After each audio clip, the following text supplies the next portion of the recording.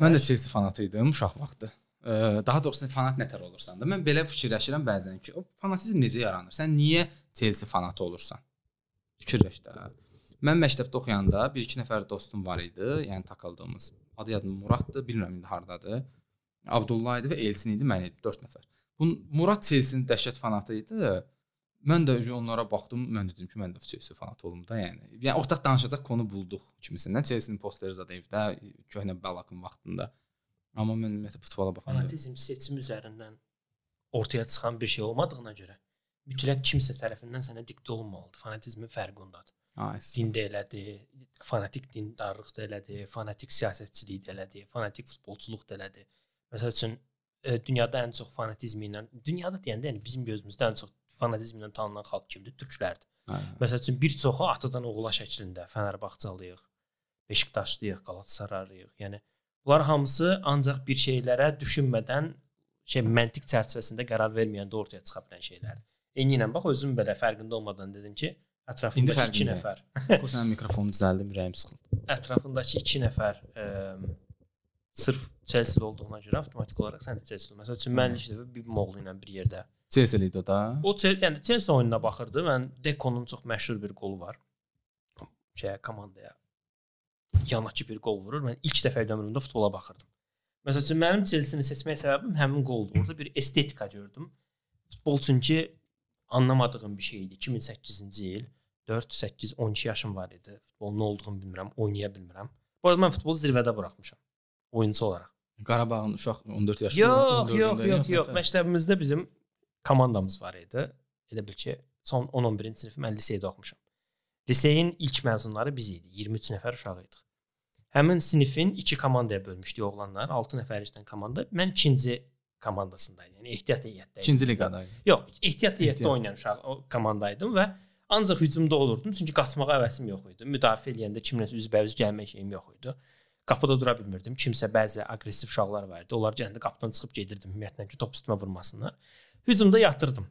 Bir dəfə düz mərkəzdə top gəldi. Oradan qapıya necə hücum zərbəsi endirdimsə, qapıçının qolu 8 yerdən sındı. Zirvədə buraxdı.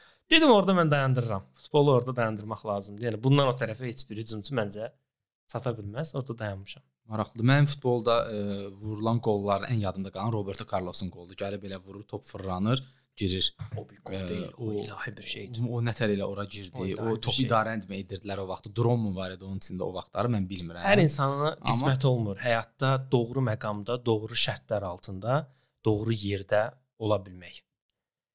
Bəzi şeylər sadəcə həyatda bir dəfə baş verir. O da Roberto Carlosun həyatında baş verir. Məsələn, eyni qolu hər dəfə cəhd eləsə vura bilməz, amma o məqam, o andakı külək, o andakı temperatur, temperatur təsiri ilə topun içindəki havanın sıxlığı, hər şey o qolun olmağı üçün idi. Həyatda hər adama o qismət olmur. Elədir. Oradakı bəlkə otun bitmə dərzi, neçə millimetrə olaraq fərqi, Roberto Carlosun ayağındakı ayaqqabının boşluğu, Hər şey. sıxdı, bax onun hamısı butterfly effekti. Biz onun fərqinə varmırıq.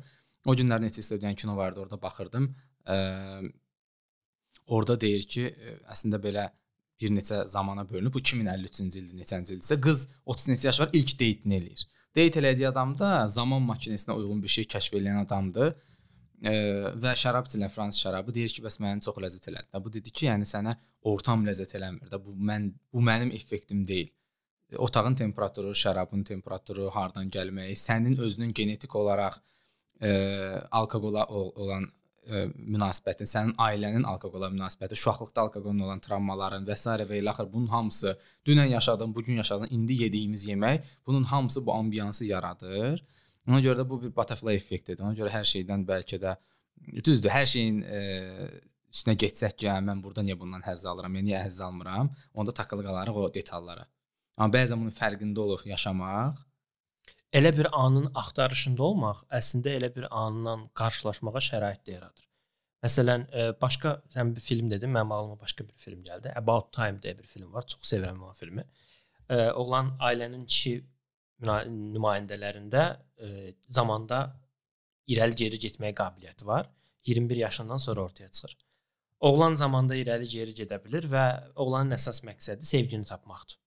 Atası deyir ki, mən ömrümü kitab oxumağa sərf elədim. Geri gedib daha çox vaxt qazanırdım, daha çox kitab oxuyurdum. Yəni mən kitablarda yaşamağı seçdim.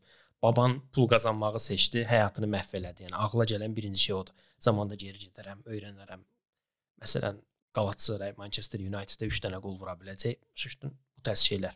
Yaxşı deyim. Amma deyir məsəl üçün orada deyir ki, yəni, bu onun həyatını məhv elədi. O qədər də ağıllı bir fikir deyil bu. Oğlan sevgini seçir. Deyir ki, həyatda sevgi tapmaq istəyir və tapır da sevgisini. Bundan istifadə edir müəyyən məqamlarda və kitabın əsas mesajı odur ki, deyir və kitabın e, kitab da deyirəm, üzr istəyirəm. Filmin sonunda e, eyni şeyləri 2 dəfə yaşamağa başlayır oğlan.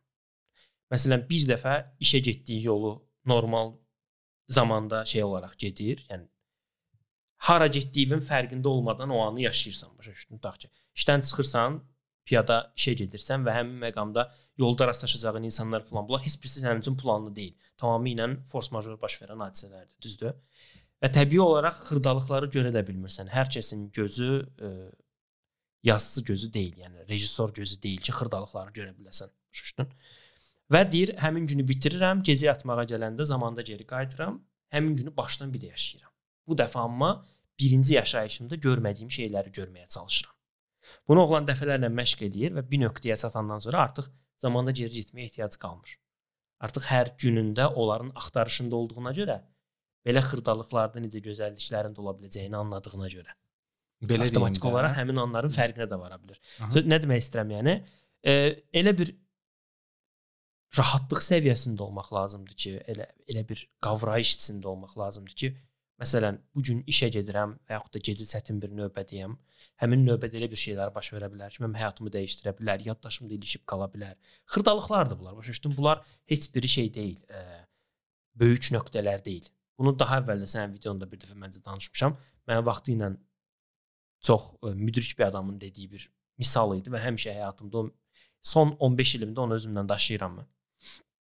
Demişdi ki, insanın həyatında vacib nöqtələr var doğum günlərimiz, universitetə girdiyimiz günlər, iş tapdığımız gün, toyumuz, övladımızın doğulduğu gün, öldüyümüz gün. Həmin məqamlarda insanlar ətrafında toplanır. O günlər böyük günlərdir. O günlərdən gözləntimiz çox böyükdür. Amma vacib olan həmin o iki nöqtə arasındakı məsafədə, həmin məsafədə nə baş verir? Nə edirsən, necə yaşayırsan, o nöqtəyə necə gedib çıxırsan. Qısası əsas olan dayanacaq yox, əsas olan səyahətin özüdür, yolun özüdür. E, Maksim Gorkidən də ümid səhv əgər səhv salmıramsa cümlə deyir quşu unut, uçuşu xatırla. Onun kimi bir şeydir. O, o məqama, o rahatlıq səviyyəsinə çatmaq çox gözəl bir şeydir. İndi sənin bir dənə ən azından o rahatlıq səviyyəsinin axtarışında olmaq. E, o indi oğlanın keçmişə geri dönmək kimi bir şansı var idi də. Amma sən o adam bir 10 dəfə, 20 dəfə, neçə dəfə kinoda eləyibsə, onu eləyəndən sonra başa düşdü ki, artıq mənim keçmişə dönməyə ehtiyacım yoxdur. Həyatımı elə yaşayacağam ki, müə müəyyən qədər detalların vacib detalların fərqinə varacam və həyatım daha maraqlı olacaq. Bunu təzədən-təzədən yaşamağım bəzən yorucudur. Mən keçən həftə Pərvinlə danışıb dedim ki, mən uşaqlığa qayıtmaq istəmirəm, çünki mənim üçün bu yolu keçmək yorucudur. Okay, qayıtsaydım keçəndə başqa cür keçərdim də, amma yenə də o butterfly effekti mən burada olmayacaqdım. Bəlkə də mənim seçdiyim budur. Mən öz hər kəs öz verdiyi qərarların konsekvenslərini daşıyır və nəticələri ilə yaşayır. Mən də ona görə ə, özümə də hamıya arzu edirəm ki, bəzən sənətlərdə o qədər avtomatlaşdırılmış iş rejimində işləyirik ki, bilirik ki, mən səhər bu yolu gedəcəm. Amma araşdırmaları göstərsən, səhər işə gedəndə o biri küçə ilə getsən, adi şöbədən şöbəyə bu biri pilləkənin istifadəsini sənin beynindəki neyronal bağlantılar dəyişir. Ona görə sənin beyninin inkişafına səbəb verir. Hətta mən nə gördüm? Evet. Bəzi insanlar bizdə işdə arada bir solla yazırlar. Deyim, niyə eləyirsən? Deyir, beynimin o tərəfini, o biri payını inkişaf etdirmək üçün. Ağıllı adamdır. Həqiqətən ağıllı adamdır. Onu eləmək olar. Əslində bəzi şeylər öz əlimizdədir. İndi bəzi e, insanlar yazır ki, bəs e, mən vaxt çatdıra bilmirəm, mənim özüm uzun müddət şikayət edirəm. Kaş sutka 20 48 saat olaydı ki, həm yata biləydim, həm də sevdiyim işlərlə məşğul ola bilərdim. O həmişə dediyim o FOMO, fear of missing out-u həyatımdan uzaqlaşdırandan sonra məntiqli şəkildə qavrayaraqdan. Sən bunu qavramayandakı birinci belə bir şey başlayır. Bir problemin həlli mənim üçün problemi definasiya definirən eləməkdən başlayır. Problemin nə olduğunu birinci görməlisən, təyin etməlisən. Bu problem var. Sonra oradakı sözlərin mənasını başa düşməlisən. Ki mən təyin etdim ki, mənim vaxtım niyə çatmır da? Mən niyə e, doymuram bunu eləməkdən? Mən niyə az yatıram? İndi də onsuz da biraz çox atmışam yatmağa, amma e, genəldə az yatıram. Çünki 28 illik xarakteri sən bir çırpıda atıb ə, e, silə bilmirsən. Təbii ki.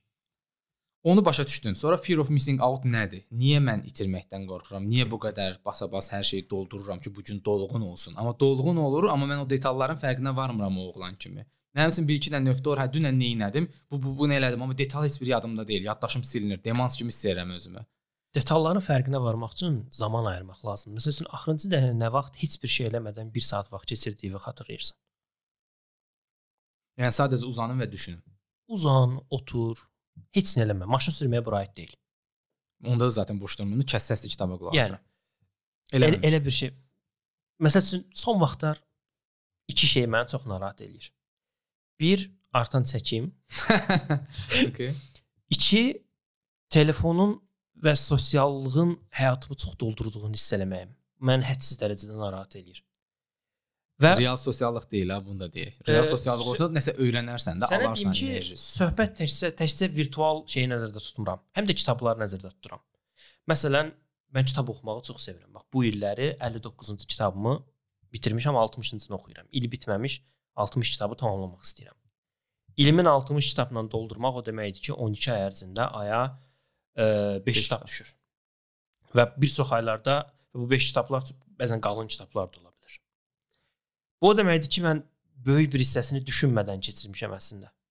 Biz çox yanlış bir şəkildə düşünürük ki, məsəl üçün çox vaxt kitab oxumaq insanı inkişaf elətdirir falan, amma əslində bəzən bizi öz düşüncələrimizlə baş-başa qoymaqdan məhrum saxlayır. Yeni fikirlər girmir ağlımıza. Yeni informasiyalar gəlir, Fikir ki. amma özümüz fikir yaratmırıq. İnkişaf elətdirmirik.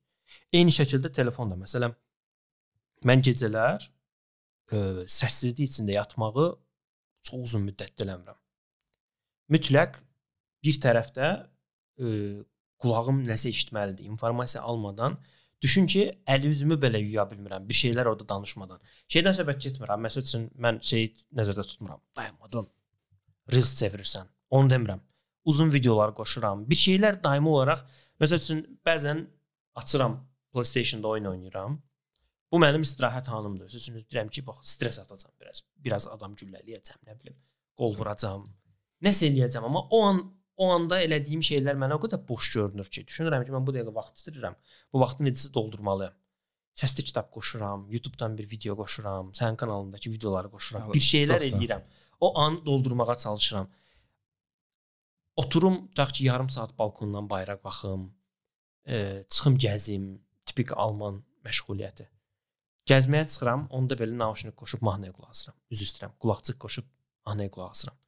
O vaxtımızı boş qoymamaq, e, o dediyin şeylərin fərqinə varmağın da qarşısını alır. E, məsələn, kafedə falan oturub kitab oxuyanda tez-tez evin yaxınlığında çox qəşəng vintaj tərzli bir kafe var bizdə. Orada oturub kitab oxuyuram. Harada oranın reklamlara gedək. Kafe Royal nəzərdə tuturam. Hə. Orada oturub kitab oxuyuram və ətrafdakı insanlar ümumiyyətlə mən insan sevmədiyimə görə ətrafdakı insanların səsi məni narahat edir və yaxud da həyat yoldaşımı universitetə aparıram. E, o dərsdə olduğu müddətdə universitetin şeyində otururam, kafesində otururam, kitabxanasında otururam. İnsanların o məsələn kitabxanada öskürüşü, tərpənişi, vərəq o hamısı qıcığıma toxunur. Burada artıq insanlar var və onu musiqi ilə söndürməyə çalışıram. Sözü olmayan musiqi qoşub bizim nəşriyyatın işləri ilə falan məşğul oluram kompüterdə. Və fərqinə varıram ki, o uzun müddət qulaq asırsan ana şeydə qulaqçıqda başqalarının şimdi musiqiyə. Onu ayırıb dünyaya qaydanda birdən fərq oy da mən başqa bir şeyi itirmişəm. O təbiilik gəlir birdən-birə və yaxud da musiqiyə qulaq asırsan, musiqi birdən bitir. Naushnik qulaqçıq s- bir bir səssizlik yaradıb qulağında, amma gözün ətrafda həyatın döndüyünün fərqindədir. O itki anını hiss edəndə ki, mən bir şeylərdə yer almıram bu dəqiqə. Həmin o salıram aşağı qulaqçığı, həmin məqamda ətrafın dünyanın səsini eşidəndə çox qəribə bir duyğu verir mənə və əslində nə qədər qopduğumu, nə qədər şeyin fərqində olmadığımı istəyirəm. Bu məni çox narahat edir. İstəyirəm ki, mən vaxtımı dolu keçirdiyimi düşünərək vaxt itirirəm əslində. Məsələn, hal-hazırda Goodreads-ə inansaq 649-cu kitabımı oxumub bitirmişəm güya. Saysam o 649 kitab içərisindən həyatım boyunca təkrar oxumaq istəyə biləcəyim 100 kitab maksimum çıxara bilərəm. Okay, bu bu yalanla özümüzü bəzən mən bəzən düşünürəm ki, bu yalandır. Deyirik ki, stəkanın daşırdan əslində doq- 100-cü damcıdır, amma 100-cü damcıya qədər 99 damcı var. Və yaxud da Məhəmməd Əlinin məşhur şeyi var. Deyir, nə vaxt şey eləyəndə saymağa başlayırsan, deyir qolum ağrımağa başlayanda. Hmm. Onda sayıram ki, görüm neçə dənə elədim. Yəni okey, bunlar xoş mesajlardır. Bunlar adamı həqiqətən hərəkətə salan Instagram Reels videolarının şey arxa plan mesajıdır, amma fakt bundadır ki, bəzən bizə yararı olmayan o qədər şeylə həyatımızı doldururuq ki, əslində həmin məqamlarda yarada biləcəyimiz, həmin məqamlarda fərqinə vara biləcəyimiz çoxlu xırdalığı gözdən qaçırırıq. Yarada bilmək mütləq deyil ki, hamımız artist olaq, hamımız incəsənət xadimi olaraq. Xırda bir məqamda məsəl üçün bir bir e, nə bilim biraz romantik səslənəcək, amma nə bir ağacın bir budağına qonmuş quşun fərqinə varsan ki, a oradan dələ qaçdı. Yəni o sənə bir mənəvi rahatlıq verir bəlkə də, amma sən həmin məqamı bir şeylərlə YouTube-la doldurursan, futbolla doldurursan, hətta futbolun özü yox, futbolun özündə bir estetika var yenə də. Onu şərh eləyənlərə qulaq asmaqla doldurursan. Başa düşdün nə demək istəyirəm? Fikrimi izah edə bildimmi bilmirəm. Çox qəşəng danışdın. Ola mən sənə bir iki dənə belə adi həyatdan ə, normal dinləyicilər də başa düşdün. Çox ədəbi danışdın. Ya zarafat edirəm. Bizim dinləyicilərimiz bir gün biri yazmışdı ki, bu biraz ə, beldən aşağı danışanlar ya biraz cəmaət nə deyirəm, yəni aşağı səviyyəli danışanlara milyonlar baxır, amma bu kanala az adam baxır. Mən dedim ki, zər qədrini zərgər bilər. Az amma öz izləyici bizə okeydir. Yəni mən neynirəm 10 milyon adam baxsın, 11 milyon baxsın, amma bir şey başa düşməsinlər. Ya da mən orada sadəcə e, nifrət ya da paxıllıq mesajlar görüm, lazım deyil. Mən sənə rahat bir şey deyim, adi bir misalla dediyin şeyləri. Bəzi insanlar az siqaret çəkir. Amma siqaret çəkəndə gündə 3 dənə, 4 dənə atıram, çıxır balkona, siqaretin çəkə-çəkə uzağa baxır. Yəni detallara baxır, şəhərin işığı olsun, ağac olsun, oradakı e, quşlar olsun. Mənim bir dostum var atıram. Bu adam siqaret çəkəndə belə çəkir. Və çəkdiyin fərqinə varmır. Onu da atır təzədən. Heç olmasa bari bu siqareti çəkdiyin vaxta qırağa bax da. Ya telefona zəng gələndə, e, məsələn bu alqoritmadır. Telefona zəng gəlirsə, avtomatik siqaret götürülür və balkona çıxır, ondan danışılır. Hı. Yəni bunu doldurur ondan da. Yəni o telefona belə sən diqqət ayıra bilmirsən, paralel bir şeylər eləyirsən. Yəni bunu evdə də danışa bilərsən. Yəni bu fərqinə va mən vardığım, onun varmadığı şeylərdir. Bunlar deyirəm bəlkə bu videoya baxdı və onun fərqinə vardı.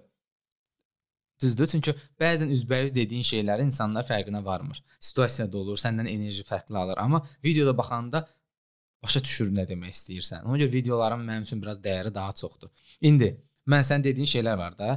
Axırıncı dəfə yatanda nə vaxt sakit gözümü yumub yatmışam, yadıma gəlmir. Həmişə bir səsli kitab olur. Ən az 15 dəqiqə qoyuram.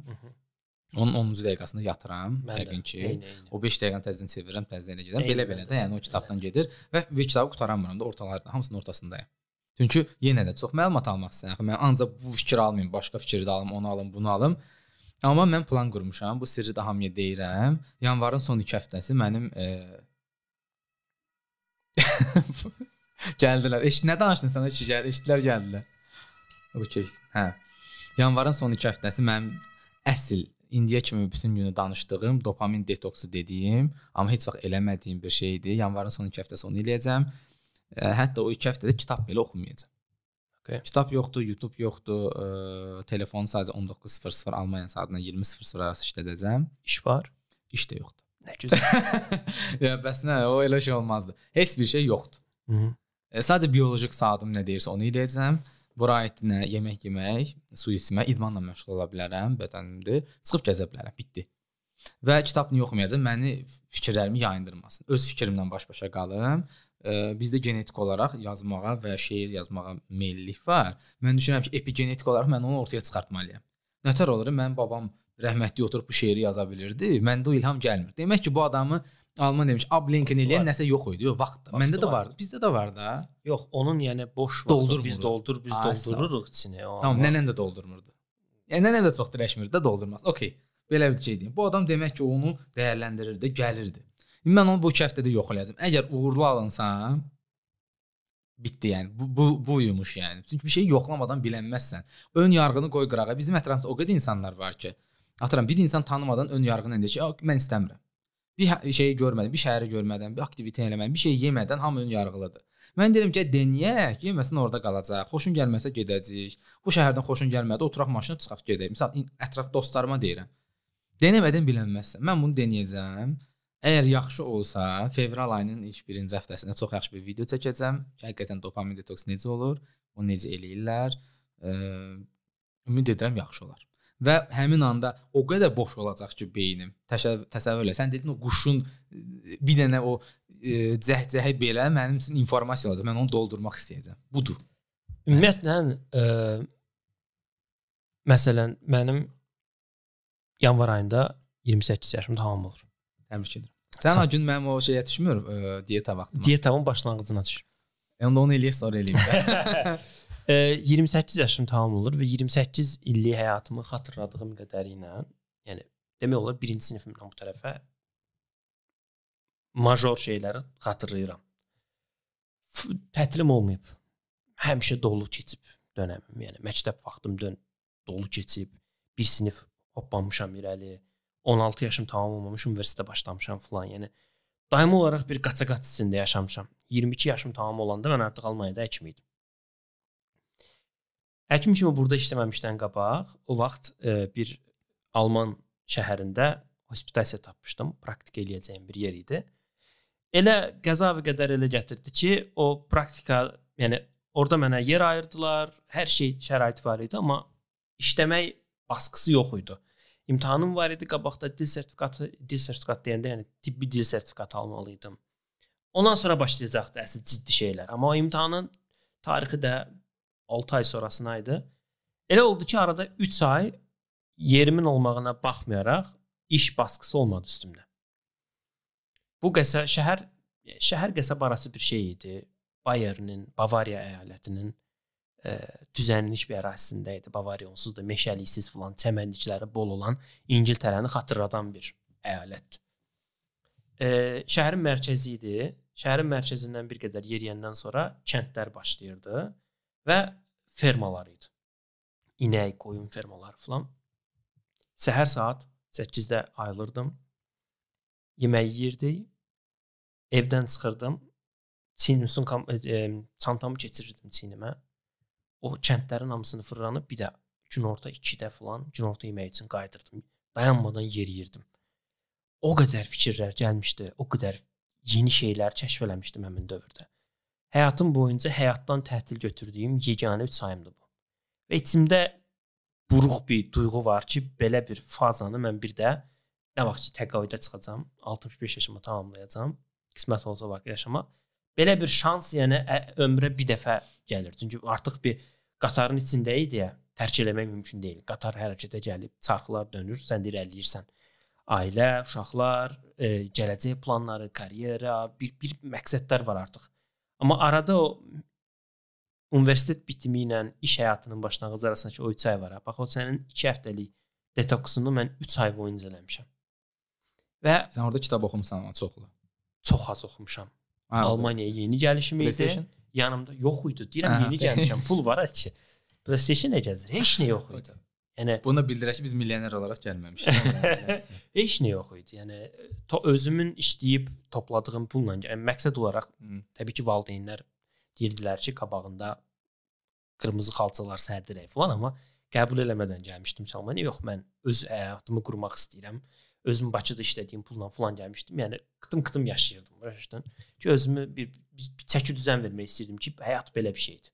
Həyat bu cür olur. Yəni özüm öz məsuliyyətim. Çünki Bakıda, Azərbaycanda o məsuliyyəti daşıya bilməzsən. Hər nə qədər 3-cü kursdan bəri atamdan pul almamışam. Məsələn, işləyib özüm qazanmışam, amma çox da bunu deyim, fərqi yoxdur. Ev kilolarını 18 yaşda sənin bir girməyinə ev baxan. kilolarını idi. Yəni başa düşdün nə demək Hə, istəyirəm? hə. Ev kilolarını idi. Yəni ev onlar, onlar dəstək verirdilər, rayondan azuqə gətirirdilər filan. Əslində özümün fərqində olmadığım o vaxt, o vaxtki ağlımla var. İndi fərqindəyəm ki, o vaxt nələr baş verib, əslində mənə çox ciddi dəstək veriblər. Amma o vaxt düşünürdüm ki, özüm işləyib özüm qazanıram falan. Başa düşdün? Amma burada başqadır. Burada o dəstək yoxdur artıq. Burada özün öz vizualyasiya eləmisən və həmin üç özümlə gətirdiyim 6 dənə kitabım var idi cəmi. Və sənə deyim ki, həmin 6 kitabdan 3-ünü hələ də oxumamışam. Evdə minə yaxın kitab alıb yığmışam, amma həmin o 3 kitab hələ də oxunmayıb.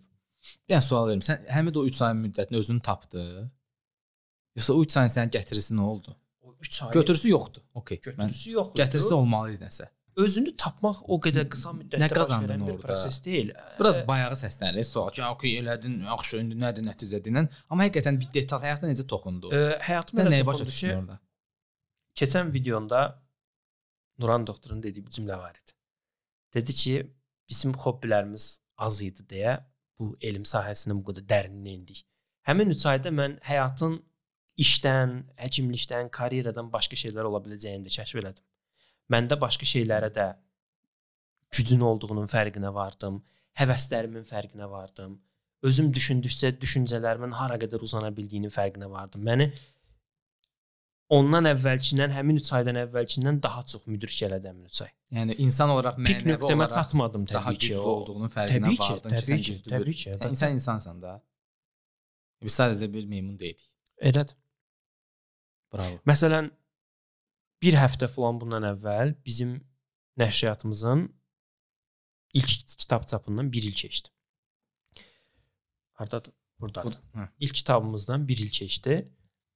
E, evdə məndə bundan 2 nüsxə qalıb, burada yəni Almaniyada. Əlimə götürdüm, səhv elədim. Burada elədiyimiz çoxlu səhvlər var. İlk nəşrimiz, məsəl üçün ilk kitabla son kitabımız arasında ciddi fərqlər var və oturdum bir an düşündüm, Nizar. Bu kitabın üz qapağının ideyası mənimdir. Rəssam başqadır, amma fikir mənimkidir. Bu kitabı seçən mənəm. Bu kitabın tərcüməçisini tapan mənəm. Bu kitabı redaktə edən mənəm. Bu kitabın iç hər səhifəsinin tərtibatına, tərtibatçının zoom yolu ilə başının üstündə bir növ durub hər səhifəsinə fikir diktə edən mənəm. Yəni bu kitabın böyük bir hissəsi, bilirəm təvazödən uzaq səslənir, amma bu fəxr elədiyim bir işdir bu. Bu kitabın böyük hissəsinin səbəbkarı mənəm.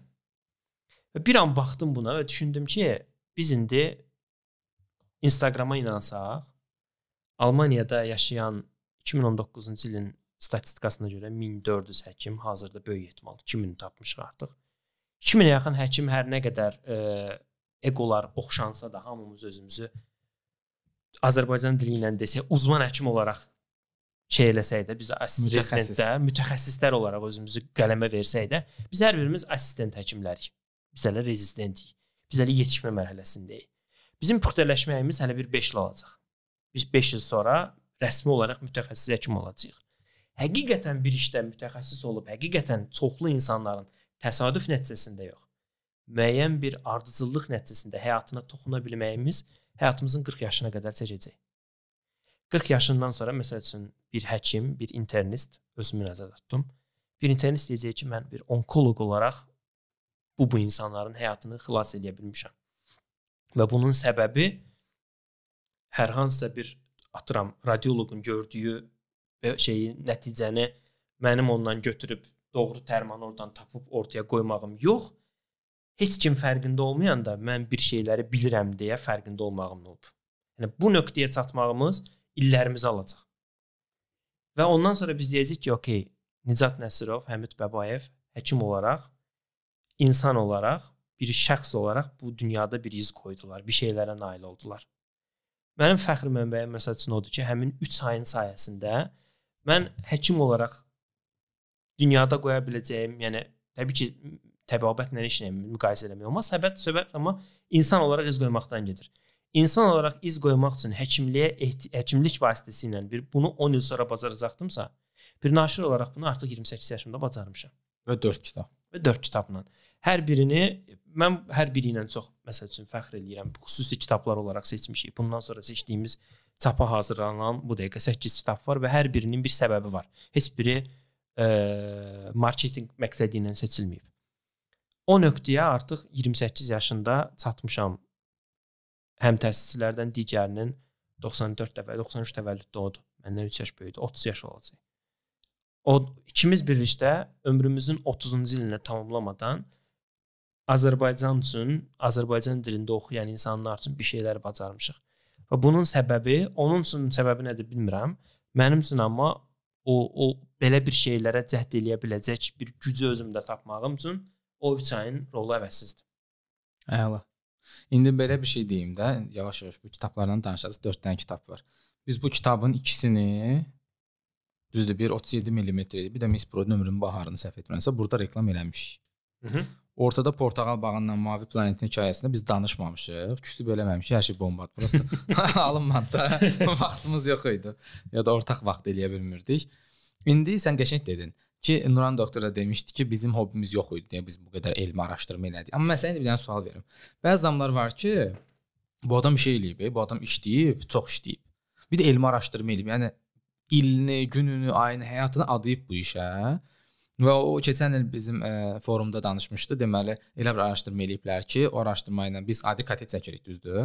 Əgər ə, sümüklərin, ətrafların katesini çəkəndə hər hansısa bir sümük ə, olan, bir sınıq olanda Biz orada kateda maksimum deyirik sınıq hardadır, ə, sınıq sümük qəlpəsi Azərbaycanda yaxşı bilməyə bilərəm. Qəlpəsi hardadır, oynaq necə görsənir, bir ə, hematom varmı, qan toplanması ya nədirsə, çox sadə bir şeylər. Hı -hı. Amma bunun araşdırmasından sonra KT aparatı sümük ödemini görə bilir. Hansı ki bizim bəzən gözümüz görmədiyi, vacib olan bir şeydir. Onu MRT-də görürsən. Ondan sonra Philips şirkəti bunu öz e, texnologiyasına əlavə eləyib və o KT aparatının qiyməti 400-500 mindən 1 milyona qalxıb. Həmin aparatın emin. Yəni bu adam bir yenilik eləyib də. So, indi bu adamın öz həyatı var, araşdırmaları var. Bir də adamlar var. Mən onları da müqayisə eləmək istəyirəm. Biz hamımız Homo sapiens sapiens isə niyə belə biri belədir, niyə biri belədir? Nə işləyir qardaş, nə hobbisi var? Kitab oxumaq mənim fikrimi sorsan hobbi deyil. Kitab oxumaq bir ehtiyacdır. Sən bunu zaten oxumalısan. Ha qardaş, sən bunu niyə hobbiyə şey eləyirsən ki? Baxır nə oxuyursan. Yəni baxır nə oxuyursan. Elmi kitab oxumaq zaten işindir sənin. O ehtiyacdır. Elmi vacibdir. Mənim ehtiyac yoxdur. Non-fiction ədəbiyyat bir ehtiyacdır. Hə, bir ehtiyac. Zehninə müraciət et, informativ xarakter daşıdığı üçün, amma bədii ədəbiyyat estetik olduğu üçün artıq ehtiyac bir mənəvi ehtiyac kimisindən deyirəm. Tam olaraq bir adam gəlib sinəsinə döysə ki, mən heç bir işlə məşğul, ancaq kitab oxuram, mənim hobbimdir. Məncə hobbi sənin kitab sənin sevdiyin bir işdir, yəni iş kimi sən bunu görürsən. Hal-hazırda sən hə. sən bunu iş kimi görməzsən. O 3 aydan əvvəl hobbi idi, bəli. Aysa, indi mən bu aktualdan danışıram. Hı -hı. Çünki o vaxt başqa gördüyün işlər də vardı. Bir də bəzi şeylər var, atıram, bir adamlar deyir ki, mən bunu eləmək istəyirəm. Deyirəm, elə. Deyir, pulum yoxdur eləməyə. Deyirəm, görə sən ayda sıramda siqaretə 250 avro pul verə bilirsən də, sənin dediyin şeyin aylıq dəyəri 50 avrodur. Bu birisi də 50 avrodur, bu birisi də 100 avrodur, bu birisi də 50 avro. Sən prinsip 5 dənə hobbi ilə məşğul ola bilərsən bir ayda siqaretə verdiyin pulla. İndi biz bu bəhanələri nəyin arxasına, yəni sığışdıra bilərik? 649 kitabın nəticəsində Biraz da hobbilərdən, biraz bəhanələrdən, biraz nəyə görə elədiyimiz səbəb. Bax, bu insan bir insan bir bəhanə edirsə ki, mən bunu eləmək istəyirəm, pulum yoxdur, amma o pulu başqa yerə verirsə və o bir ehtiyac deyil. Asıllığı qoyduq qarağa, siqaret asıllığının fiziki asıllığı falan yoxdur. Çox minimaldır, psixoloji damcısı. Tüstü gəlsin, getsin. Nə düşünürsən bu barədə? Həyatda seçdiyimiz çox hərəkətin bir çoxunun bizim o ana qədər yaşadığımız aludəçiliklə əlaqəsi var. Aludəçilik dediyəndə şey siqareti nəzərdə tutmuram. Aludəçilik dediyəndə yəni o ana qədər həyatı necə yaşadığın, sənin həyatı necə qavradığını təyin elədiyinə görə qərarlarına da avtomatik olaraq təsir göstərir. Əslində hər bir insana, oxumaq qabiliyyəti olan hər bir insana xitab edən bir kitab var. Amma sən bunu oxumalısan anlamına gəlmir. Bəzi insanlar musiqidən zövq ala bilər, bəzi insanlar incəsənətdən zövq ala bilər, bəzi insanlar yeriməkdən zövq ala bilər. Sadəcə olaraq uyğun bir şeyin axtarışında olmalısan. Əgər həmin bir şeyin fərqində deyilsənsə, daim baş aşağı şəkildə yaşayırsansa, elə yəni o ehtiyacı kəşf eləyə bilməzsən, amma onu kəşf eləmək üçün əvvəl özünlə baş-başa qalmalısan. Biz özümüzlə baş-başa qalmaqdan hal-hazırda 2023-cü il etibarilə özümüzlə baş-başa qalmaqdan çox qaçırıq. Özünlə baş-başa qaldığın anda sənin diqqətini çəkən bir şey mütləq var. İnsan olmağın idraçla falan əlaqəsi yoxdur. İnsan olmağın incəsənət qavrayışı ilə əlaqəsi var. Bu başqa bir şeydir. İdraçı məsəl üçün prinsipcə bizim idraç olaraq adlandırdığımız, intellekt olaraq adlandırdığımız şeyin daha bəsit formasını heyvanlar da eləyə bilirlər. Məsələn, məndə evdə iki pişik var. Heç bir yəni eləyəcək bir şey tapmayanda pişikləri izləyirəm. Pişiklərin davranışlarını, yəni hərəkət ardıcıllıqlarını, nəyi hansı biraz vaxt atırıb izləyəndə görürsən ki, sənə elə gəlir ki, sanki ağlı var. Başa düşdün? Əslində, yəni Homo sapiens mənim təbii ki, bu elmi bir cümlə deyil indi. Hararinin Homo sapiens təyinatı ilə Həmid Babayevin təyinatı eyni ola bilməz. Mənim elə bir backgroundum yoxdur. Amma mən o cür düşünürəm ki, Homo sapiens olmağı, insan olmağı fərqləndirən bizim incəsənət qabiliyyətimizdir. Duyum qabiliyyətimizdir. Heç bir heyvana onu öyrədə bilməzsən. İntellekti və yaxud da intel, yəni Biz intellekt olaraq nəyi təyin edirik? Sənin bu nəticəyə özün gəlməyin. Amma heç birisinə özün gəlmirsən ki. Okay. Məsələn, i bərabərdir mc kvadrata sən bir ardıcıllıq nəticəsində gəlirsən. Prinsipcə sən 1-ci sinifdən etibarən sənə riyaziyyat öyrədilir, sənə fizika öyrədilir. Sən müəyyən bir nöqtədə ora gəlib çatırsan ki, o şeyi ə, şərti refleksin əslində son nəticəsi kimi bir şeydir. Başa düşdün nə demək istəyirəm? Amma incəsənət elə deyil. Duyum başqa bir şeydir. O ancaq şey oxuyacağam, ona görə girdim. Bunu bunu çox maraqlıdır. Bu, bu eksklüziv bir şeydir. Çox adam bilmir. Bunu deyə keçəcəm ona dalından. Bu adam oturub bütün günü şeirə qulaq asır, nə bilim, videoya baxır, incəsənət duyğu Hansı var, adam? məndən daha. Yox, o X adamla söhbət gedir də. Bu dedin, incəsənətlə bağlı. İncəsənətdən məndən daha çox həşir nəşirdir. Hətta mənim emosional olaraq başa düşmədiyim başa düşürdü. İndi bu, indi mən o Harari'nin Homo sapiens nə elədi? Adam za- zaten bizim vəhşiliklərimizdən yazıb ki, nə elədi, Neandertal nətər öldürdü. Çox qəşəng kitablardır. Çox sadə dildə Mhm. e, başa düşülən kitabları var. Amma mən heyvanların şuuru yoxdur, yoxdur bizə öyrədilib. Biz amma bunu dəqiq araşdırmamışıq. Bir parti qo- demişik ki, balıqlar 3 saniyə yaddaşı var, getdi. Ona görə akvariumda mutludur. Bəlkə adam əziyyət çəkir akvariumda, xəbərimiz yoxdur. Mhm. Bəlkə bunun bununki sadəcə erlərin tehlikə logik qayıtdı. Yəni öyrənmiş çarəsizliyi var. Deyə akvariumda sənin verdiyin yeməyi yer, gül kimi okeanda yaşayardı da. Amma deməli bir e, nəfər var, professor doktor Onur Güntürk. Okay. Bu e, Türkiyədə doğulub, uşaq serebral iflicinə görə Almaniyaya gətirilib o vaxtı müalicə alsın deyə. Müalicəsi e, elə bir son nəticələnib ki, bu adam e, Rorschach dediyimiz əlil arabasında qalıb, amma bu adam dayanmayıb. Bir növ yaşın- Hawkingdə. Hə, amma daha rahat, ondan daha rahat. Özü danışa bilir, özü özünü idarə edə bilir. Adam ə, deməli, Bochum Universitetində böyük bir beyin institutunun rəhbəridir. Okay. Professordur. Elm adamları içərisində də bunu Almaniyada bu günə qədər elm üçün ən böyük maliyyə dəstəyi qazanan alimlərdəndir. Okay. Bu öz kəndindəki quşlara o qədər aşiq olub ki, göyərçinlərə götürüb bunu araşdırıb. Və adını qoyub ki, quşlarda şuura əsaslanan ə, qavramanın olmasını sübut edən bir alimdir. Ə, və yəqin ki, Nobel mükafatı falan alacaq bir tipdə bir insandır.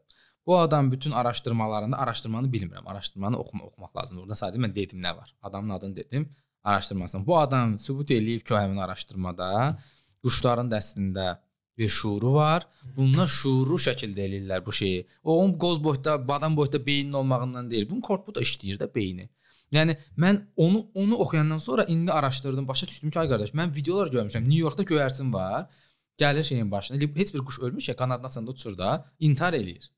Ya bir göyərçin niyə intihar eləsin də? Demək ki, bu adam düşünüb, bu quş düşünüb, qərara gəlib ki, bu quş intihar eləmək istəyir. Prinsip göyərçin həyatı o qədər çətin deyil. Səhər 8, axşam 6 işi yoxdur. Dırdır eləyən, yəni quş dilində nəsə danışan başa düşdün yəni. Bir bank bankı yoxdur, bir borcu yoxdur, bir məcburiyyəti yoxdur da. Sadəcə New York kimi bir yerdə gəzib sadəcə çörək qırıntılarını yesə, həyatını gül kimi yola verəcək. Mhm. Düzdür, bəlkə də əylənənmirlər bizi kimi kitabı yoxdur, bir e, hobisi yoxdur. Yəni uçub ancaq yemək yeməklə məşğuldur. Yəni e, bilmirəm. Bax mən onu dedim adını. Çox maraqlı, sən də araşdıra bilərsən. Mən ondan sonra düşünmək istəyirəm ki, ya da ümidliyəm ki, digər canlılar da bizim kimi əslində müəyyən bir şuura malikdir. Və bu məni mutlu eləyir. Özümü tək hiss eləmirəm bu planetdə. Bu planet demişkən, e, sənin dördüncü kitabında Yaxşı bağladın. Mavi planetin hekayəsi Andre Sneyer'dir bunun adı. Sneyer, yəni. Sneyer Magnusson. Ee, İsland olduğuna görə onların dili də Nordik Ha, dil İsland. qrupuna daxil olur. Yazıldığı kimi oxuya bilərsən adını.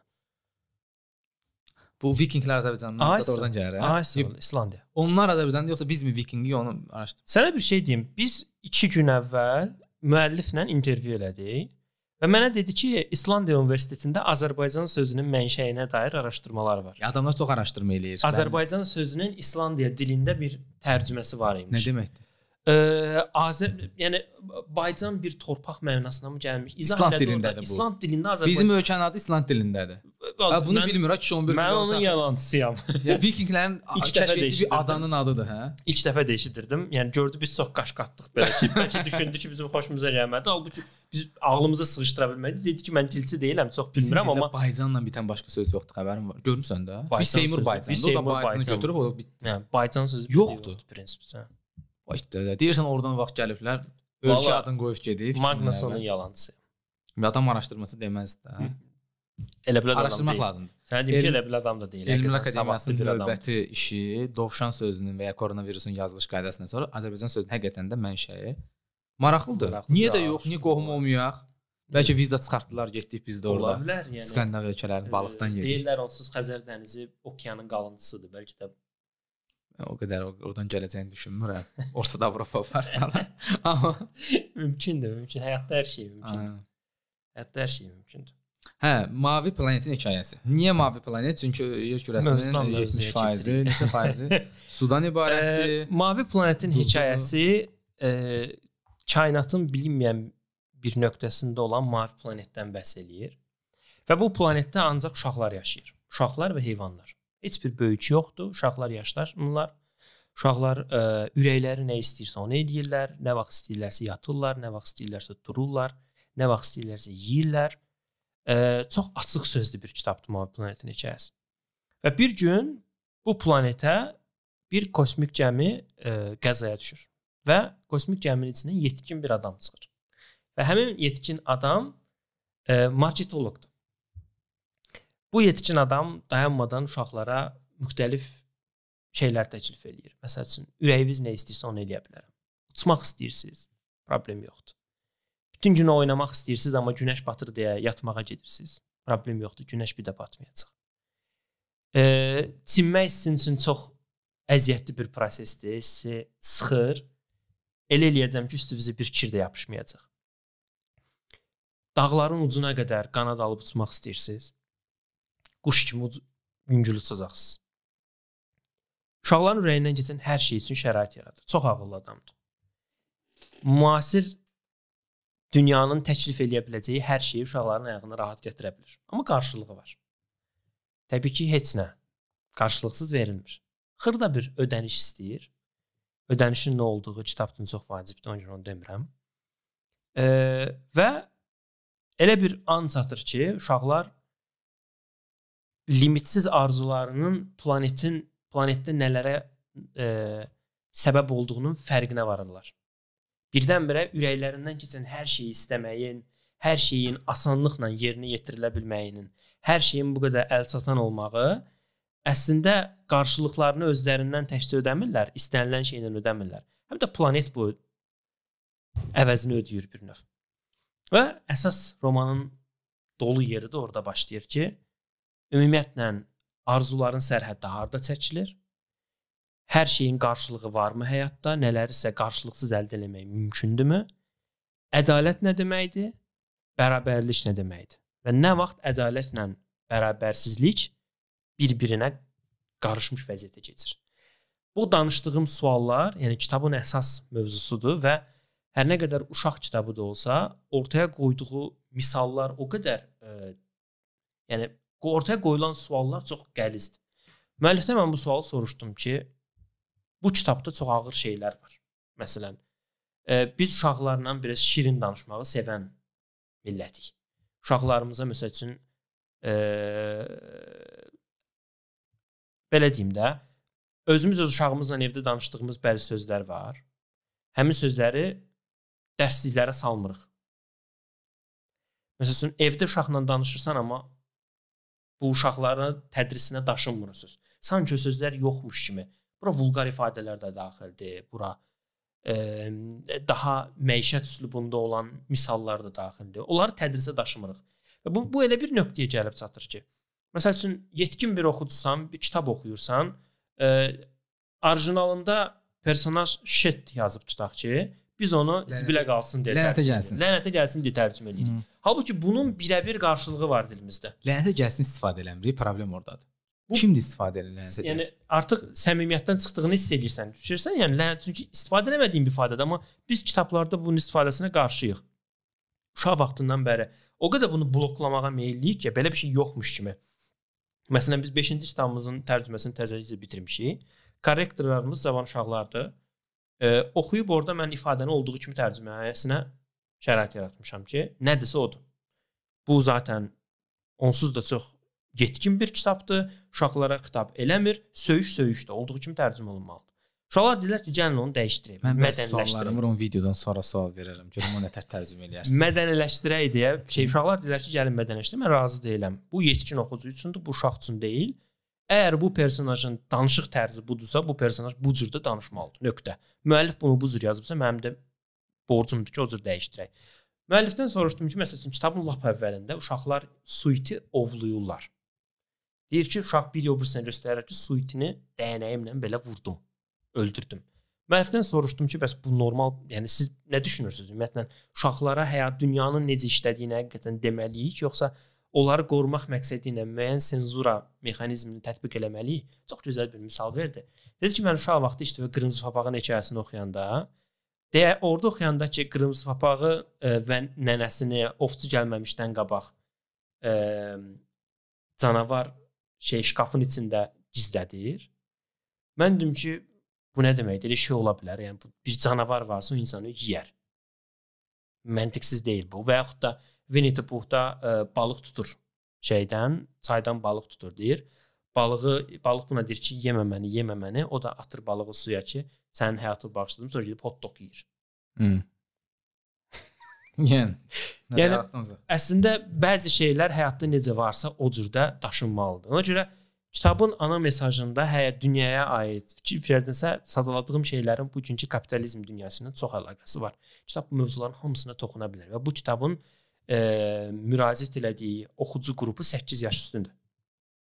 Bizim gözümüzdə 8 yaşlı uşaq tualetə tək başına gedə bilməz heç, amma fakt budur ki, 8 yaşında uşağın oxumaq qabiliyyəti varsa, həyatın reallıqları ilə də bəzən rastlaşmalıdır.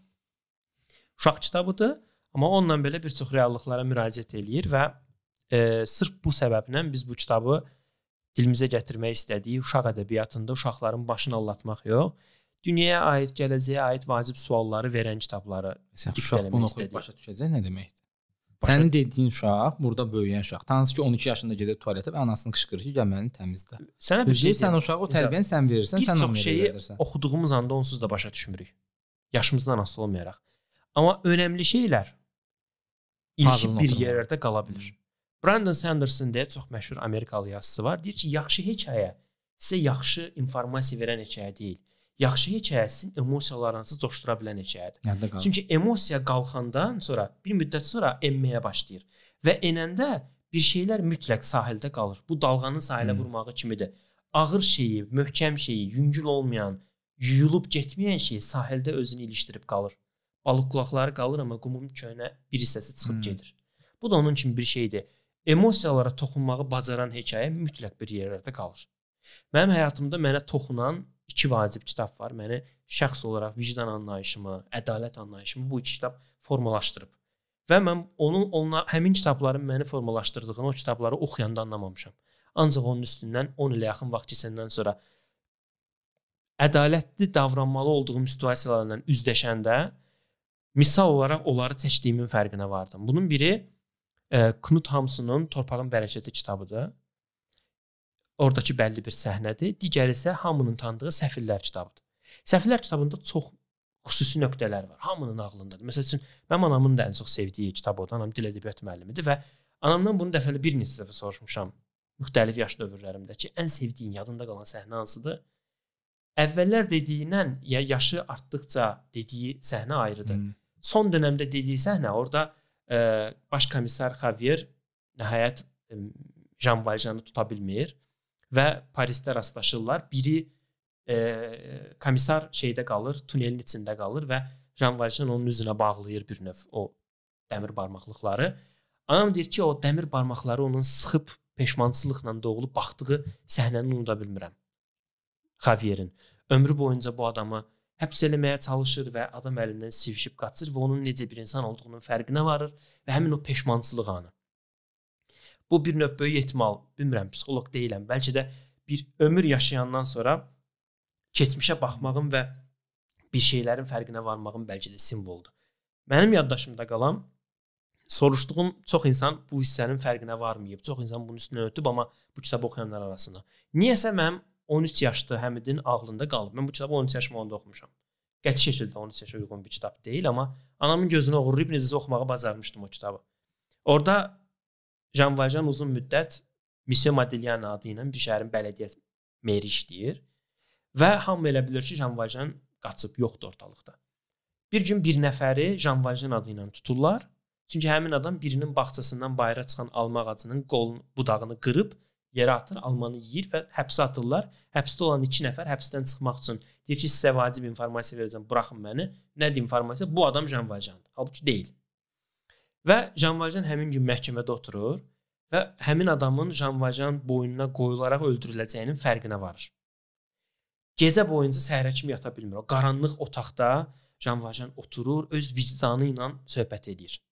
O səhnə o qaranlıq otaqda özü ilə hesablaşma səhnəsi və sabah gedib təslim olur. Özünün Jean Valjean olduğunu elan eləyir falan.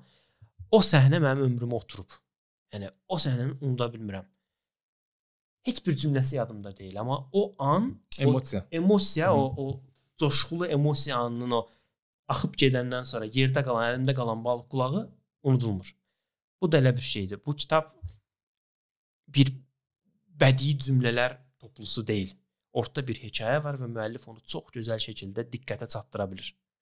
Və həmin diqqətə çatdırma sayəsində ümid eləyirəm ki, bir neçə uşağın beynində bir şeylər qalacaq. Hal-hazırda e, Bakı ətrafı olan məktəblər arasında, oxucular arasında kitab müzakirə olunur. Bir çoxuna qatılmışam. Və qatılanlardan biri də öz bacım oğlu idi. E, 8 yaşı var. Elə gözəl cümlələr qurdu. Məsəl üçün mən o kitaba o gözlə baxmamışdım. 8 yaşında uşağın gözündə bu uşaqların adı da valideynsiz şəkildə yaşamaqları ilişib qalıb. Valideynsiz orada necə yaşaya bilərlər? Valideyn niyə önəmlidir? Biz uşağa daha ingiliscəsində desə environment sahəsinə çəkməyə çalışırıq. Çünki açıq danışaq, gələcəyin problemi budur. Climate change, qlobal istiləşmə, iqlim dəyişiklikləri, gələcəyi narahat edən mövzu budur. 70 il bundan əvvəl faşizm idisə, bundan sonrakı 10 il ərzində bizim ən böyük problemimiz budur və bu kitab o, o mövzuya istər-istəməz bir növ diqqət çəkməyə çalışır. Amma o uşaq o problemlərdən falan uzaqda, Biləsvarın bir ərazisində yaşayan bir uşağın ağlında ilişib qalıb ki, valideynsiz yaşamaq əslində bizə nələrə səbəb ola bilər.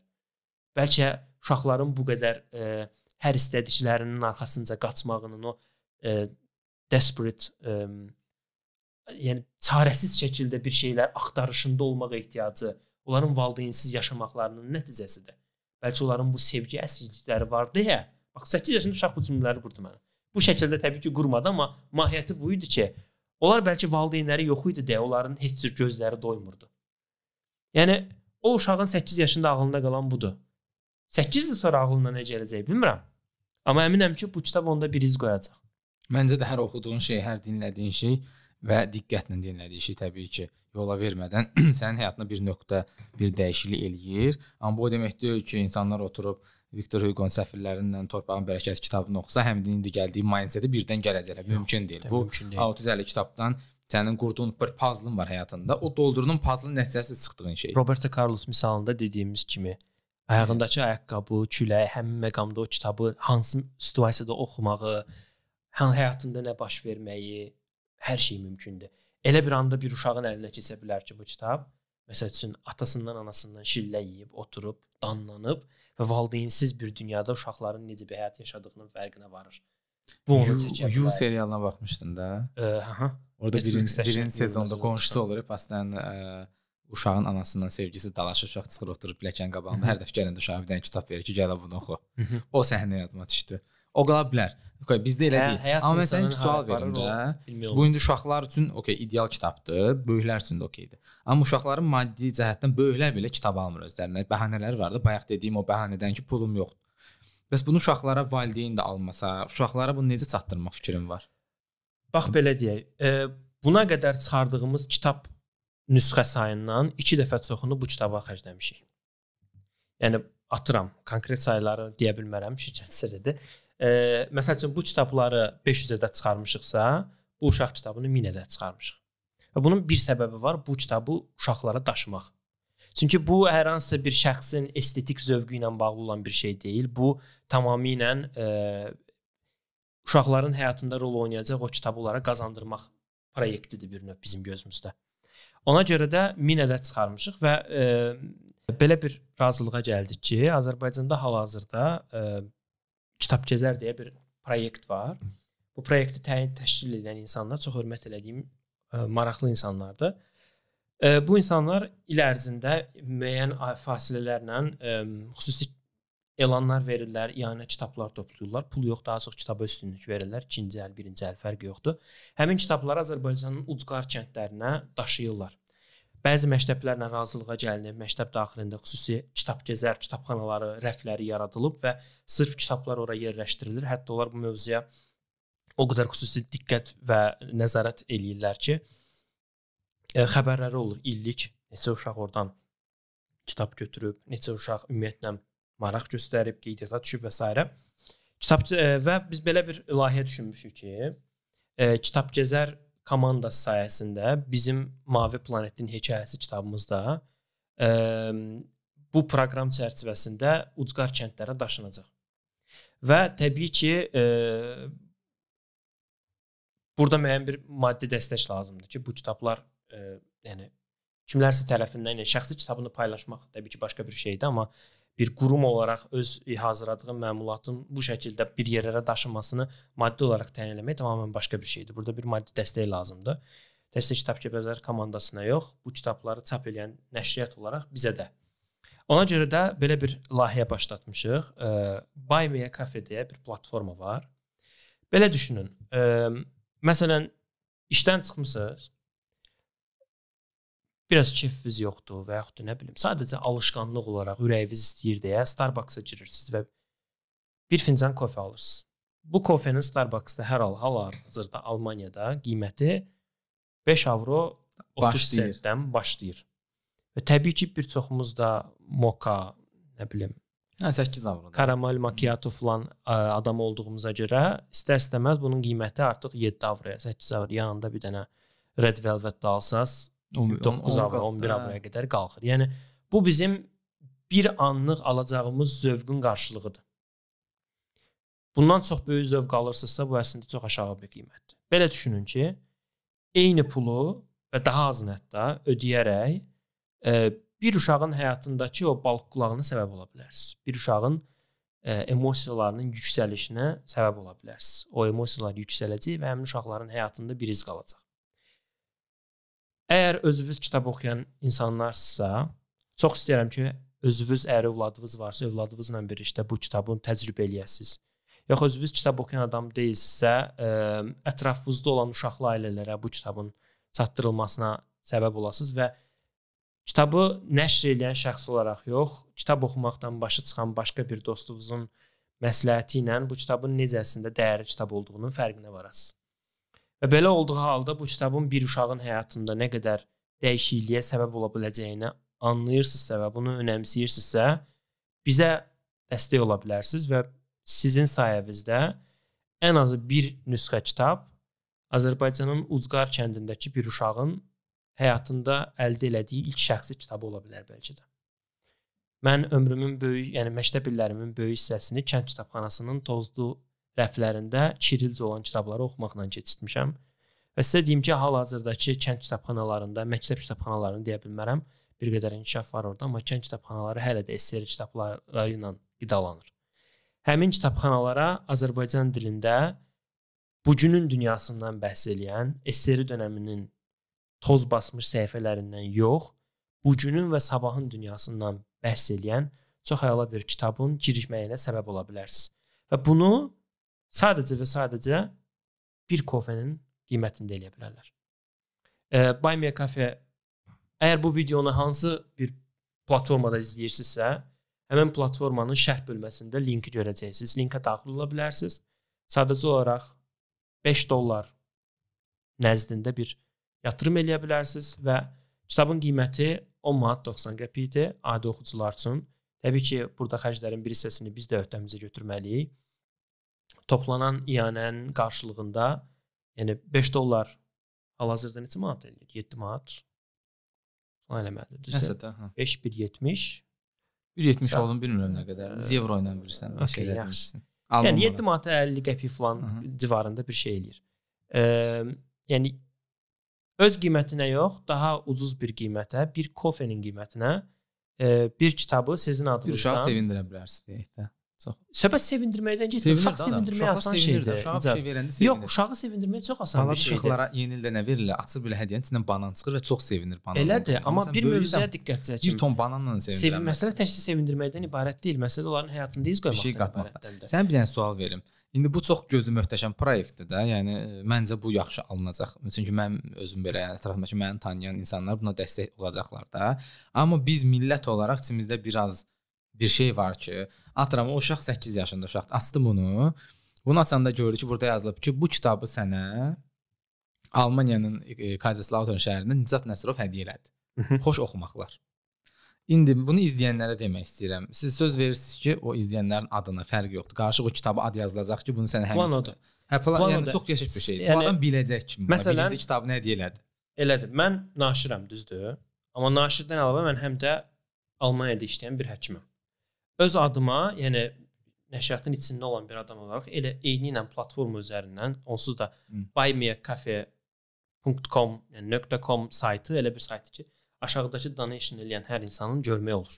Öz adımdan donationumu eləyəcəm və öz adımdan orada mesaj bölməsi də var. Yəni donation elədiyiniz halda nə yazılmasını orada qeyd edə bilərsiniz. Həmid Babayev məsəl üçün öz adımdan bu uşağın hansı uşağa kitab mənim aldığım kitab gedib çatacaqsa, həmin uşağa mən nə demək istəyirəm o kitabın içinə yazdıracağam. onu. Nə gözəl.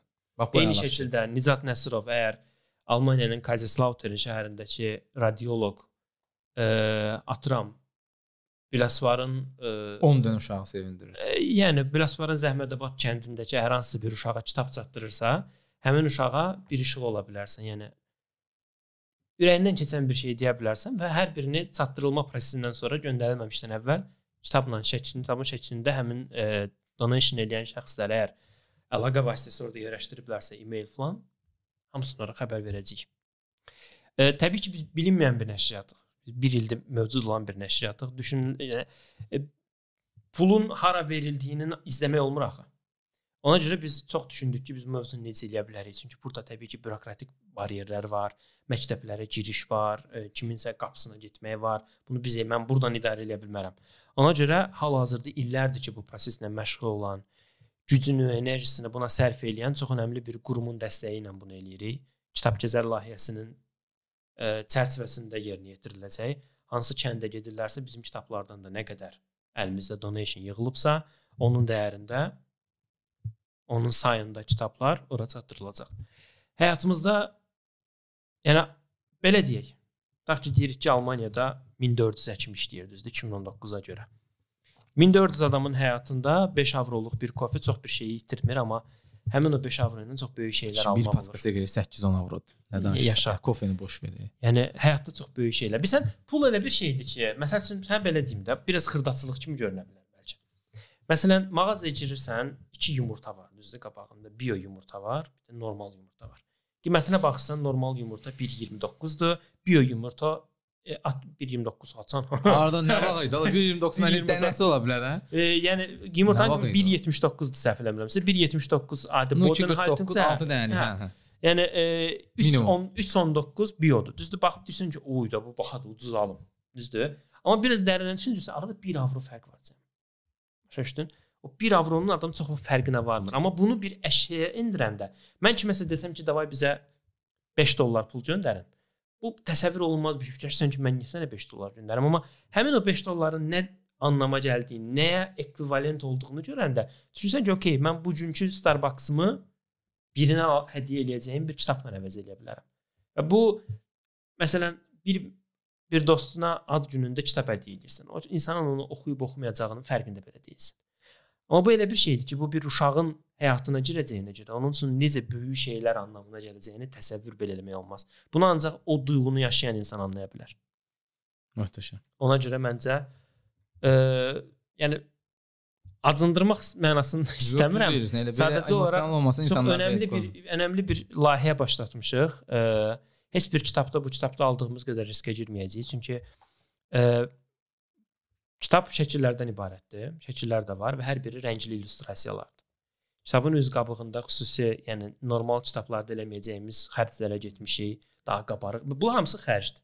Yəni bu kitabda Miss Broyden ömrünün baharı və yaxud da ə, Larry Tremble'ın Portaxal bağı kitabında çəkmədiyimiz xərcləri bu kitaba çəkmişik. Çünki bu kitablar digər üçü estetikadır.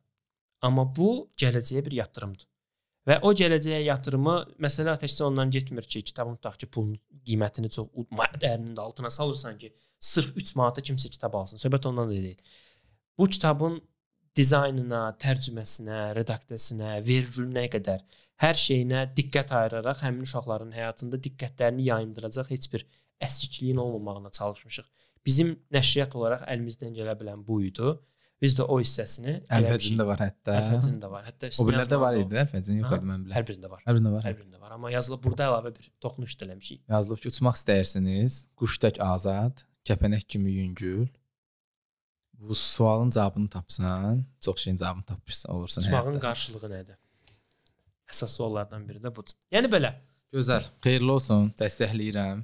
Biz həmişə e, səmimi qəlbdən gələn, heç bir insanın e, həyatına təsir neqativ təsir etməyən bütün fikirləri dəstəkləyirik.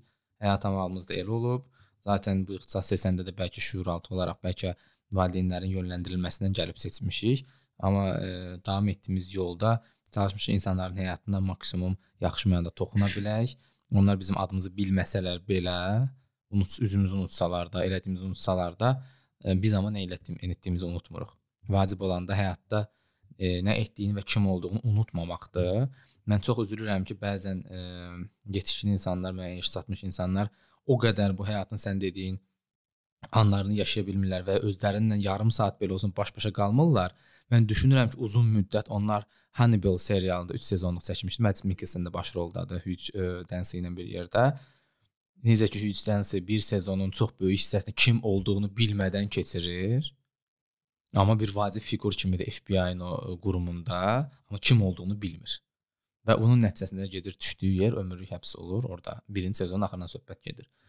Ona görə də arzu edirəm ə, e, bu videoya baxan, baxmayan ümumiyyətlə ə, bizim toxum toxuna bilməyəcək bütün insanlar əslində həyatda kim olduqlarını bilsinlər. Ən birinci məqam budur. Ondan sonra həyatda istədiyin hər şeyi əldə etmək ə, və xoşbəxt olmaq ondan başlayır deyə düşünürəm. Çox sağ ol, yaxşı ki gəlmişdin. Ə, bir əlaqən yoxdursa. Yox, mən bağlamaq yoxdur. istəyirəm. Uzun müddət idi hə, bu mikrofon üçün danışmışdım. o da sənin üçün darıxmışdı deyim. Çoxdan da gəlmirdi. Mən ürəyimdə toplanan çoxlu müşahidələr var idi. Demək ki, əslində Sinə son videodan adam. bəri e, o qədər də tək, yəni vaxtımı dolu keçirməmişəm. Bax bu qədər müşahidə toplanıb qalıb içimdə. O Hmm. Az da olsa o vaxtımı da dəyərli keçirmişəm. Sən nə danışardın burada? E, hələ hələ də, bizim kütlə Bəlkə də o dərəcə səviyyəyə çatmağın qarşılığı ümumiyyətlə danışmamaqdır. Ola bilər. Ya da monqlar kimi susqunluq diyetə həsr edə bilərsən. Danış 10 il adamlar danışmır. Ola bilər. Düşün. Sənə bu son olsun bir müşahidəmi də deyim. E, demək keçən gün Kazuo Ishiguro deyə bir Yapon əsilli Britan yazıçısı var. 4 yaşında mı səhv eləmirəmsə, köçüb Britaniyaya, o cür onun Yapon yazıçısı demək biraz məntiqsizdir. Yapon əsilli Britan yazıçısı. Hə, Britaniyada böyüyüb, adam Londonda yetişib yəni. Nəysə, onun bir kitabını oxuyurdum. Dəyişən dünyanın rəssamı deyə bir kitabdır. Kitabda e, elə bir ki, İkinci Dünya müharibəsi sonrası Yaponiyadır. Bu müharibənin əvvəlində çox hörmətli bir rəssam olub, politik mövqe tutan bir adam olub. Dünya dəyişir. Yaponiya 2 dənə atom bombası yeyib degradasiyaya uğrayır, dəyişir, müasirləşir, Amerika təsiri artır getdikcə, amma bu rəssam dəyişmir. Bu rəssam gəlib çatıb 80 yaşına, xaraktercə dəyişmir, düşüncələr əslində dəyişmir, bəhanələri dəyişir, amma altında yatan insan möhkəmdir. Orada bir şey fərqinə vardım. Övladı ilə söhbət eləyəndə, övladı kişiyə, özündən yaşlı olana sən deyə müraciət eləmir, o deyə müraciət eləyir. O bir anlıq dayandım və yadıma Game of Thrones serialı düşdü. Game of Thrones-da faceless god, yəni üssüz hmm. Allahın e, bir növ rahibləri olan oğlan var idi özü haqqında danışanda e, mən deyirdi. Bu adam. Hmm. Sən mən demirdi. Və bir anlıq düşündüm ki, düşün ki ikimiz oturmuşuq. Mən sənin haqqı səni tənqid eləyirəm. Mən desəm ki, Nicat, sən beləsən, barmaq sənə yönəldiyinə görə avtomatik olaraq özünü yəni, müdafiə mexanizmləri olan elədiyin bir səhv var ha. Özünü müdafiə etməyə başlayır. Çünki hədəf sənsən. Amma deyəndə ki, Nicat onu səhv elədi. Orada hmm. kitabda deyir, Üçüncü atamız şəxs. bəlkə də bunu belə düşünməmişdi. Üçüncü, yəni bilirsən nə anlama gəlir o birini? Mən elə bilmirəm, o, o Yapon fəlsəfəsində belə demək yox. Mən elə bir nəticə çıxartdım. Sanki keçmişdə bir şeyi eləmiş məndən hazırki mən eyni deyil. Bunu anlama gəlir. Mən dəyişə bilərəm. Psixoterapiya eləmisən də? Məncə Həmər ağıllı insan biz bunu rahat-rahat danışırıq. Psixoterapiya, psixoterapevt sənin heç həmişə Həmid bəy bunu elədi sözünü deyib, yox. E daha doğrusu sən bunu eləmisən sözünü deyib, siz bunu eləmi, yox. Həmişə ki nə deyib yatıram? Nicat bəy bunu elədi ki, sənə qıraqdan baxmağa vadar eləyir. Baxsın qıraqdan içini şaşım ki, o düz deyir də. Elə bir ki, bu anki bədənindən çıxırsan və Hı -hı. orada bir şey, yəni sənə dəyişməyə şansı verir. Hı -hı. Və kitabda o deyə müraciət eləməyən bir dənə adam var idi. Dəyişən dünyanın rəssamı. Həmin kişi özü haqqında o deyə danışmırdı. Daim mən, mən, mən, mən. O o boşluq anı, o tamamilə sakitliyə çökürsən və o bayaqdan deyirik, bir anlıq geri durursan. Bir anlıq geri durandan sonra öz özünün elədiklərini düşünə bilirsən. Bunu mən eləmədim, bunu eləyən o idi. O o anının fərqinə varanda o, o odan mənə doğru gəlmək asandır. Orda bir şeyləri dəyişdirmək olur. Yol uzundur. Odan mənə doğru. Odan mənə doğru. Bax indiki halva doğru. İndiki halından da gələcəyə doğru hmm. orada yolun qabağını açmış olursan. Bu psixoterapi ağıllı adamlar ya da bizimkilər ağıllı adamlardır. Olabilir. İndi fark elədim. Ya bu niyə mənim adım deyir? Görsən. Sən desin də, siz desin. Daha doğrusu siz saxlayırsan da sənə keçən kimi dost olursan alınmır psixoterapiya. Ümumiyyətlə bizim millətdə belə bir şey var ki, yəni dostumsansa, psixiatrsansa, nəsə psixoloqsansa, mən pulsuz terapiya elə kişi. Başa düşsünlər ki, pulsuz heç bir şeyin dəyəri yoxdur kapitalizmdə, mümkün deyil. Sən ona sən ona küllü miqdarda pul verməsən, o effekti yaratmır. Pul yox, qarşılıq. Qa Hə, yəni də indi bunda necə qarşılıq verəsən? Psixoterapevtinə də var. Evdə bazarlıq edib maşını yığırsan. yəni pul verməlisən də. E, bir şeylər verməlisən qarşılığında. Ya, tanımadığın adam sənə onu da qoy qırağa. Tanıdığın adamdır. Effekt olmur. Yox, məsələn. Ay qardaş, öz qohumlarımızı müalicə eləmirik. Sən niyə pul vermir axı? Effekt yoxdur yo, ortada. Ona bir 200 manat reşnik göndər, 200-300 avro göndər, gör nətərsən yazdığın müalicəni eləyəcək. Orası düz deyə şey mənasında deyirəm. Məsəl üçün elə bir qarşılıq ala bilərsən ki, atıram da, sevdiyin bir insandır, həmin adamın sağalmağına səbəb olmaq sənin üçün bir qarşılıqdır.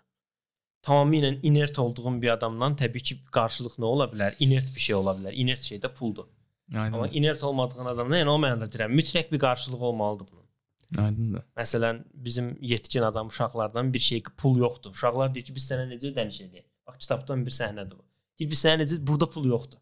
Bizim burada pula ehtiyacımız yoxdur. Deyir narahat olma.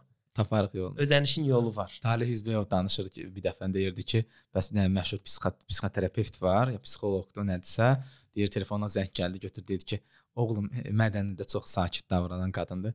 Oğlum elə eləmə ki, mama gəlsin sən orada cızırsın. Yəni bu sən nə qədər yaxşı psixoterapevt olursansa, sən özünə və sevdiklərinə o təsiri göstərəmirsən. Orası elədir, orası. Düzdür? Mənim bir hazırlıq yoldaşım vardı. Atası da kimya müəllimi idi. Oğlan demişəm bu videoların hansısa birində, oğlan həqiqətən də kalsiumdan suyu üstə gəlib nə alınacağını bilmirdi. Bilmirdi. E, münasibətim də yoxdur bu videoda. Baxmayacaq, baxsa da heç bilməyəcək ondan söhbət gedir. Adam getdi Ukraynada tibbə qəbul oldu təbii ki həkim də oldu deyə ümid edirəm. Amma məncə hər şey kalsiumdan başlayır. Yəni sən belə kalsium bilməyəndə gedib insana kalsium kanal blokatoru yazmağında biraz mənasız olardı kardioloq olaraq. Ona görə də sağ ol, yaxşı gəlmisən, maraqlı söhbət aldım. Mən ləzzət elədi həqiqətən də. Davamlı olsun. Çox Davamlı sağ ol. olsun.